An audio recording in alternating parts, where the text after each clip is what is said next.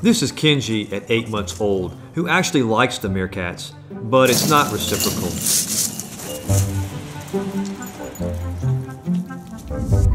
The old adage about you be nice to me and I'll be nice to you works well between humans and meerkats, but not so much between cheetahs and meerkats.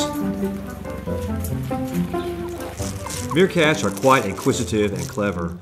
Kenji leans against the fence so the meerkats can groom him. Meerkats are natural enemies to predators.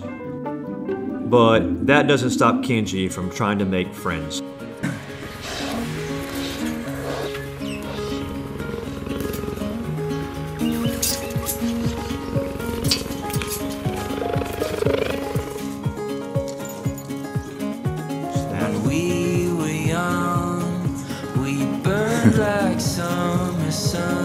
It's purring now. Our fears at bay, we made Who says meerkats and cheetahs don't mix? no stopping us. You would think the cheetah would be trying to kill a meerkat. It's the other way around.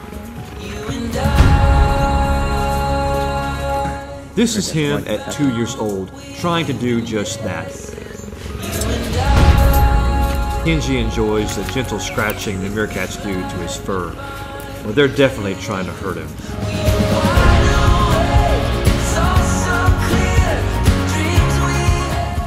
Kenji's a cheetah that rarely purrs.